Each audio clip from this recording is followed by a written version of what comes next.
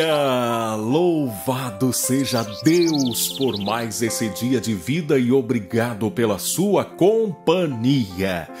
Dentre as milhares de pessoas que ouvirão essa mensagem hoje, sete pessoas serão tremendamente abençoadas e vão experimentar um grande crescimento em sua vida espiritual emocional e financeira. Porque elas estão interligadas. Quando se aproxima de Deus, adquire-se sabedoria. Com a sabedoria, aprende-se a equilibrar melhor as suas emoções e dominá-las. E com as suas emoções dominadas, a sua mente, a sua inteligência tem capacidade para atrair boas escolhas que vão resultar em lucro, em bênção para sua vida. Tá vendo? Tudo começa em Deus. Há muitas pessoas buscando sabedoria e riqueza longe de Deus. Com as ferramentas humanas, que na maioria das vezes são enganosas são ilusórias. Porque a riqueza que vem de Deus, a prosperidade que vem de Deus, primeiro é uma prosperidade que não se limita a bens materiais. Ela vai muito além disso. Ela traz consigo uma paz, uma tranquilidade, uma harmonia que não há dinheiro no mundo que possa comprar. E você sabe de pessoas bilionárias que não conseguem ter felicidade, realização. Elas nunca estão satisfeitas com o que têm, se matam, perdem família e amigos em busca de mais e mais e mais e mais. Por quê? Porque não têm a paz não têm a tranquilidade que só Deus pode dar. E elas não têm essa paz, não é porque Deus as rejeita, porque a palavra diz que Deus não faz acepção de pessoas. Mas elas mesmas, elas rejeitam o conhecimento de Deus. Elas rejeitam os caminhos de Deus. E aí? Aí elas estão usando a liberdade que Deus as deu. Mas hoje, dentre as milhares de pessoas que estão me ouvindo, sete delas vão receber algo extraordinário de Deus e eu pergunto: será que é você? Eu quero pedir para você escrever o seu nome aqui porque eu quero fazer uma oração. E se você é uma dessas pessoas, certamente nessa oração algo especial vai acontecer com você. E eu quero dizer de forma bem clara e objetiva: essa oração não é mágica. Não é forte porque é o Ney que faz. É uma oração dirigida a um Deus que tudo pode, tudo vê. E conhece a sua vida, a sua história, um Deus que olha para dentro dos seus olhos e sabe o que você está pensando.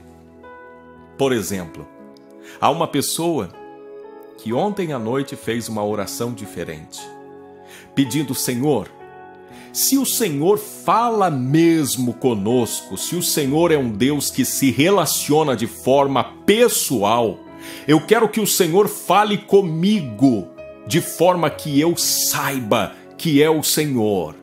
E então Deus está falando com você, ouvi a tua oração, eu sei o que você está pensando. Você está agora em dúvida, imaginando: será que é coincidência? Ou será que é Deus falando comigo? Muito bem, eu vou trazer aqui um texto que vai mostrar a história de uma pessoa que vai se assemelhar muito à sua história. A história de alguém intempestivo, alguém que às vezes falava até demais e falava na hora errada, alguém que às vezes se irritava por pouco, alguém que não tinha muita sabedoria, nem nas palavras e nem nos seus gestos, mas alguém que passou por uma grande transformação. E essa transformação fez dessa pessoa uma pessoa extraordinária e você também será assim, se você seguir o conselho de Deus. Escreva o seu nome e eu quero fazer aqui uma oração agora. Escreva aqui no comentário. Querido Deus, Pai maravilhoso, santo, poderoso, diante de ti agora eu apresento essas vidas que estão diante do teu altar em busca de uma mensagem que lhes traga respostas, que lhes traga consolo, conforto, que lhes traga direcionamento, orientação meu Deus, eu peço que a partir desse momento o Senhor possa levar cativo todo pensamento, que toda mente e coração estejam diante do teu altar, prontos para receber a mensagem que vem do céu. Senhor, fala com cada pessoa de forma personalizada e que tu sejas glorificado e exaltado por meio dos testemunhos de pessoas que virão aqui para dizer: Deus falou comigo de forma pessoal. Assim eu oro, meu Deus, em nome de Jesus Cristo. Amém. Por favor, dê o seu gostei agora antes que você esqueça. Aperta no joinha aí, inscreva-se no nosso canal e ativa o sininho para receber as notificações, porque você vai receber as orações aí no seu celular diariamente, tá bom? Inscreva-se. Muito prazer! Eu sou Ney Santos e é com alegria que eu trago até você, num oferecimento das livrarias Família Cristã, a palavra de hoje. Abra comigo a sua Bíblia na segunda carta de Pedro, capítulo 1, versículos de 13 a 15. Está escrito assim: Também considero justo, enquanto estou neste tabernáculo, despertar-vos com essas lembranças. Certo de que estou prestes a deixar o meu tabernáculo como efetivamente nosso Senhor Jesus Cristo me revelou. Mas, de minha parte, esforçar-me-ei diligentemente por fazer que, a todo tempo, mesmo depois da minha partida, conserveis lembrança de tudo. Meus amados irmãos e irmãs, eu quero compartilhar com vocês agora quatro ensinamentos que eu tenho nesses versículos desse texto da segunda carta de Pedro. O primeiro grande ensinamento é esse: a grande transformação que Jesus provocou em Pedro. Se você conhece um pouco dos evangelhos de Jesus, muito provavelmente você deve ter observado que Pedro era o que nós poderíamos dizer com a linguagem de hoje, um improvável. Especialmente porque os rabinos da época de Jesus, quando saíam em busca de discípulos para educá-los, para instruí-los acerca das coisas do reino de Deus, os rabinos escolhiam meninos que eram tidos como meninos gênios, meninos prodígio, meninos que eram bem acima da média. Os meninos da época de Jesus, com cerca de seis anos de idade, já começavam a conhecer os livros da Bíblia, a Torá, o Pentateuco, os livros primeiros da Bíblia. Aos 12 anos, um menino tinha esses livros já decorados. Sabe o que é isso? Decorados. Eles recitavam as escrituras com maestria. E se você olhar para Pedro, um homem que era um humilde pescador, iletrado, sem conhecimento, um homem que às vezes falava pelos cotovelos, às vezes era meio bronco, irritado. Todavia, Jesus escolheu esse improvável. E Jesus teve alguns momentos de dificuldade com Pedro.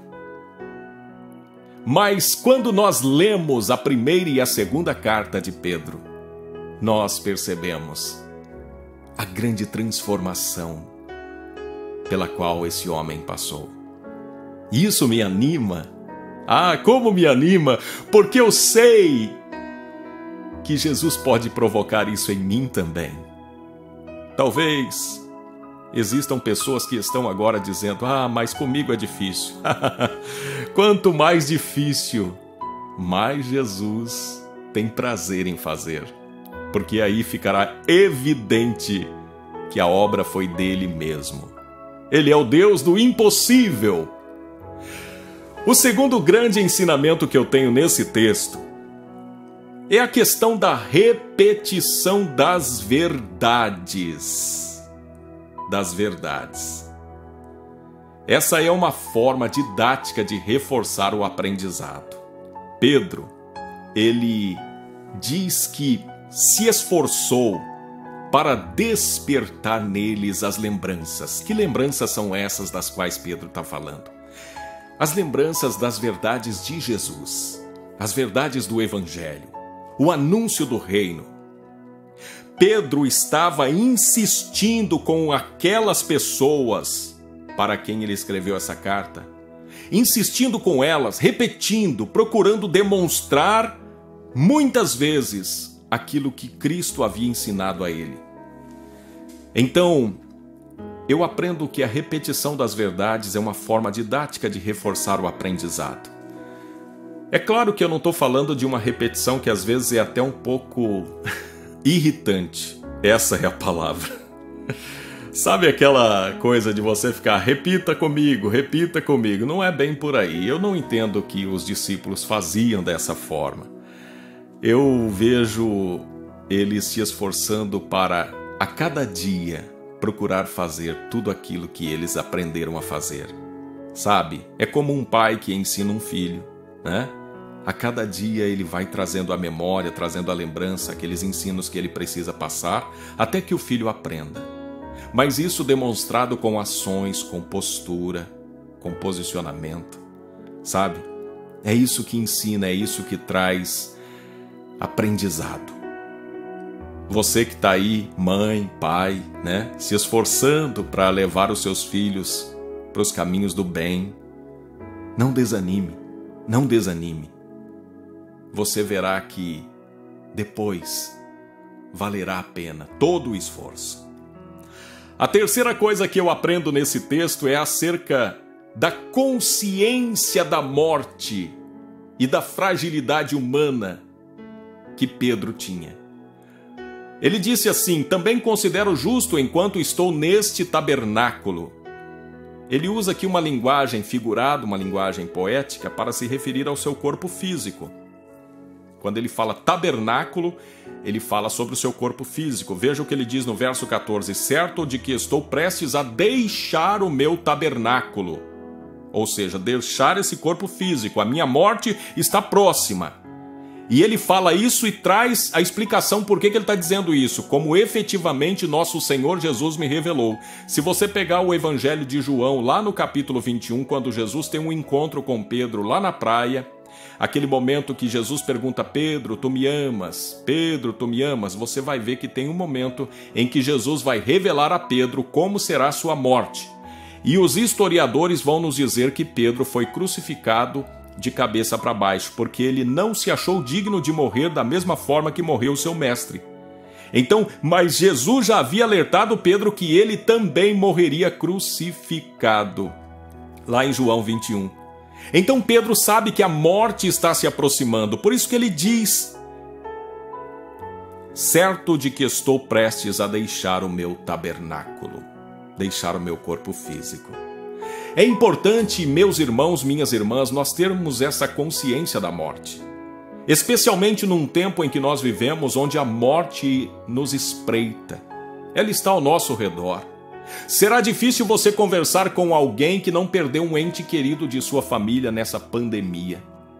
Será difícil você encontrar uma família que não foi afetada por isso. Então, mais do que nunca, a morte está às portas e nós precisamos estar preparados para a vida, mas não essa vida aqui na terra, que é perecível, que é passageira. Precisamos estar preparados para a vida eterna, aquela que Cristo comprou para nós com o seu sangue derramado na cruz, a vida de verdade, a vida abundante, a vida eterna ao lado de Deus precisamos ter consciência da fragilidade dessa vida agora, porque assim nós vamos nos preparando para ter a vida verdadeira. E falando em partir, Pedro nos ensina algo importante. Ele diz assim: Mas de minha parte esforçar-me-ei diligentemente por fazer que a todo tempo, mesmo depois da minha partida, olha, ele está dizendo, depois que eu morrer, eu quero que vocês tenham lembrança de tudo que eu ensinei. E aqui é a quarta coisa que eu aprendo: a importância de deixar um legado. A importância de você deixar algo que faça com que as pessoas se lembrem de você. E aqui eu me lembro de um filme, de um desenho que eu assisti que chama-se Viva! A Vida é uma Festa. É um, um, filme que mostra algo interessante, que vai falar de uma situação onde as pessoas elas vão morrer, né? Passar para o outro lado da vida. E lá naquele outro lado tem uma situação interessante de uma pessoa que está enfrentando a segunda morte. A segunda morte, por quê? Porque essa pessoa morreu na primeira vida e lá no lugar para onde ela foi, né? Ela depende de que as pessoas se lembrem do que ela fez ou se lembrem dela para que ela permaneça viva lá nessa segunda vida. Mas quando essa pessoa é esquecida por aqueles que ficaram na terra, ela vai desaparecendo, ou seja, ela vai morrer definitivamente. Se você não viu esse filme, eu recomendo que você assista. O nome dele é Viva a vida é uma festa. É um desenho que você pode assistir, inclusive com as suas crianças. E ele vai ensinar algo importante, porque nós aprendemos que se nós formos esquecidos aqui na terra, esquecidos aqui nessa vida, é sinal de que nós não deixamos um legado. É sinal de que nós não fizemos algo que merecesse nos deixar na lembrança das pessoas.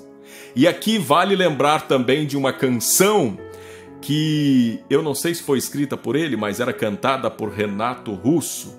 Uma canção que diz: É preciso amar as pessoas como se não houvesse amanhã. Porque se você parar para pensar, na verdade, não há. É verdade. O amanhã não nos pertence. Deus é que sabe se nós estaremos aqui amanhã, nós não. Então, ame as pessoas como se não houvesse amanhã. Porque se amanhã elas partirem ou você partir, você amou o suficiente para não ser esquecido.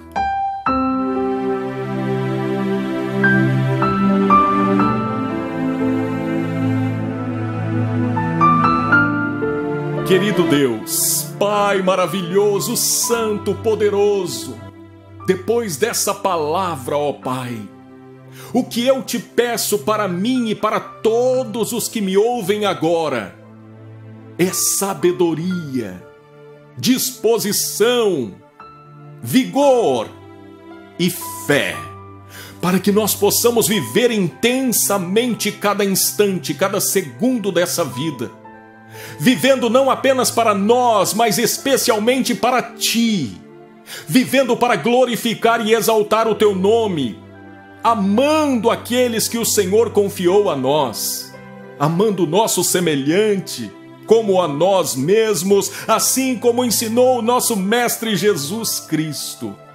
Senhor, ajuda-nos a deixar um legado, ajuda-nos a nos manter firmes nas lembranças daqueles que estão à nossa volta. Senhor, eu aproveito para pedir a cura aos enfermos, àqueles que estão sofrendo com dores. Eu peço também, ó Deus, portas abertas aos que estão em necessidade, em dificuldade financeira, empregos, clientes. Eu peço também por restauração aos relacionamentos, aos casamentos. Eu peço libertação para todos aqueles que estão aprisionados em algum tipo de escravidão, algum tipo de vício. Eu peço um dia abençoado para todos os que me ouvem agora. Eu peço que o Senhor seja exaltado e glorificado em nossas vidas e que assim possamos viver de forma que a nossa vida vale a pena.